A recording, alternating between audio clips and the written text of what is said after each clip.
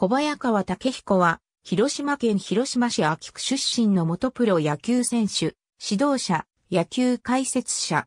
広島市立屋の中学校時代から野球を始め、高校は PL 学園に進学。PL 学園野球部創設者、井本俊秀は、小早川の獲得で PL 学園の潮目が変わったと述べている。甲子園には2回出場し、2年生の時、6番打者、一塁手として1978年春の選抜に出場するが、準々決勝で、美濃島校の石井武史、島田宗彦のバッテリーに完封を喫する。同年夏の選手権でチームは初優勝を飾るが、膝の故障で欠場を余儀なくされた。一年上のチームメイトに、西田真二、木戸勝彦、谷松博之、金石明人がいた。翌1979年春の選抜から4番打者となるが、準決勝でまたも美島校に延長10回サヨナラ負け。同年夏は、不予選決勝で牛島和彦、香川信之のバッテリーを要する波賞に敗北し、甲子園出場を逸する。高校同期には山中清、安倍慶に山崎剛がいる。卒業後は法政大学に進学。東京六大学野球リーグでは4回優勝。1年生の1980年春季リーグから4番打者を務め、史上最年少でベストナインに選出される。1981年秋季リーグでは三冠王を獲得。同年の明治神宮野球大会では決勝でエース山沖幸彦を要する仙台を下し優勝。1982年の全日本大学野球選手権大会でも決勝で二村徹のいた東洋大を破り優勝。1982年、1983年に日米大学野球選手権大会日本代表。4年生の時には外野手に回り活躍した。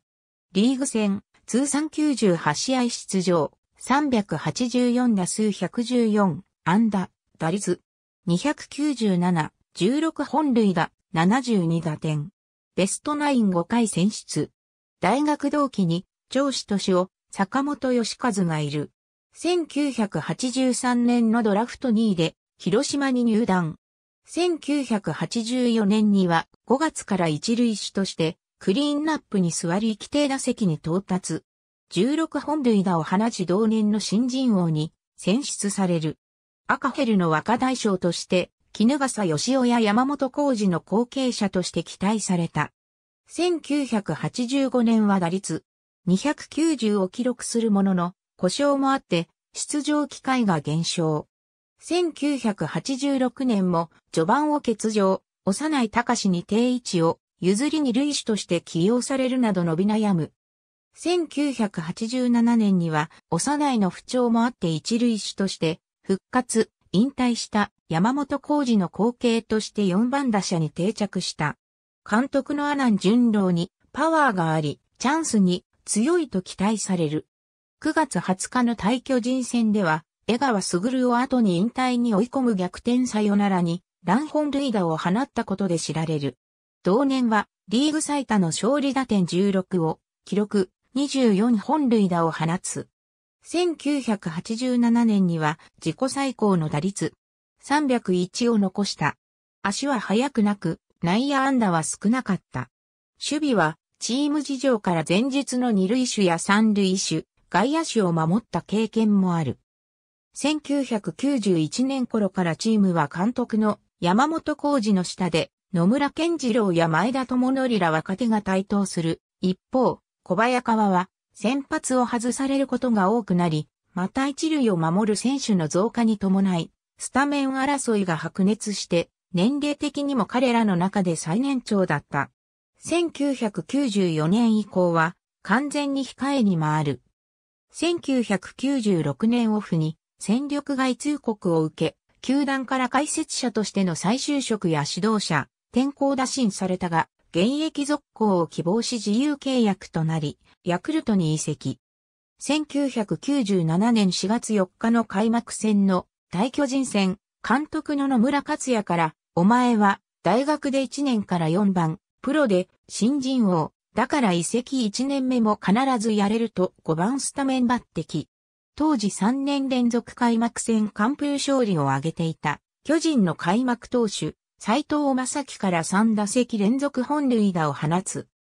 事前にミーティングで斎藤がカウント3から1から左打者に投げてくるのは9分9厘、外角から入ってくる変化球というデータを示されており、3本のうち2本はこれを狙ったものであった。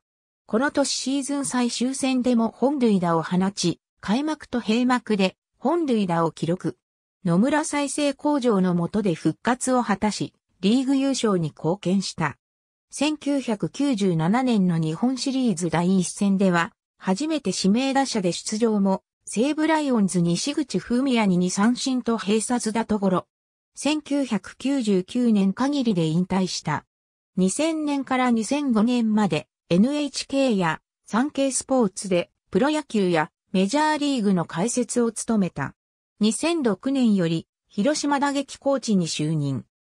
2008年8月21日に監督代行のジェフリブジーが休審の判定に抗議して退場処分となったため、直後の9回表より監督代行代理を務めた。2009年限りで辞任した。2010年からは再び NHK 野球解説者及び産経スポーツ野球評論家を務める。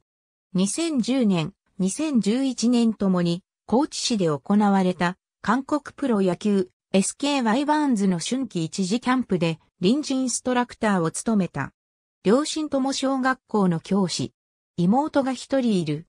3歳の時に重度のネフローゼを発病し、小学校6年生まで運動を許可されなかった。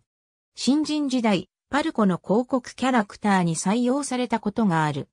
晩年筋萎縮性側索硬化症を患っていた母親が重篤に陥った際も試合に出場し、本塁打を放った直後に母親の死を知らされたという。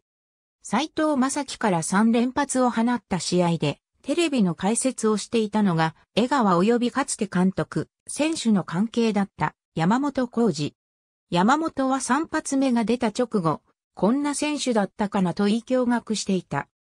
1988年の春季キャンプ前、沖縄県串川市内で自主トレ中に高熱と下痢を発症。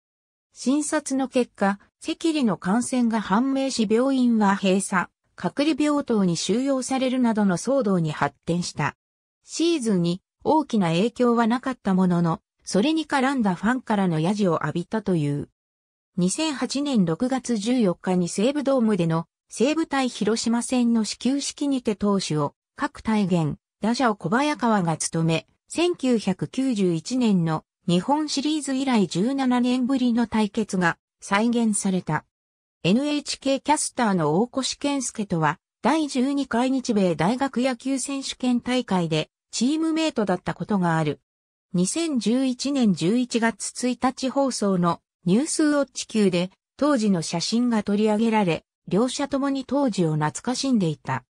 テレサ店は小早川のファンであることを公言しており、夜のヒットスタジオでは歌唱前に小早川と電話をしたことがある。ありがとうございます。